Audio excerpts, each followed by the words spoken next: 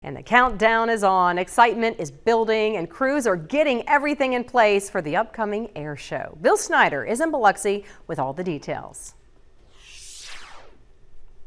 Good morning, and it's quiet now here on the beach in Biloxi. But coming up this weekend, you will feel the roar as Thunder Over the Sound takes over South Mississippi with performances by the United States Air Force Thunderbirds. That's coming up Saturday afternoon and Sunday afternoon, weather permitting.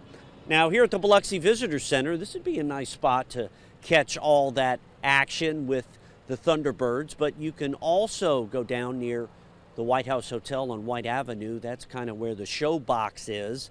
And between there, there won't be any boats allowed in, but outside of there, you'll see some buoys which will mark that area. They should be putting those out either today or tomorrow coming up to get ready for the air show. So you got a spot right there on the beach to watch, or if you want to go out to Keesler and check out the static displays and other air show performances, you can catch a shuttle bus at several areas. Just park your car, get on the bus, and head out to Keesler to check out those performances. All that information is on our website, WLOX.com, and Thunder Over the Sound.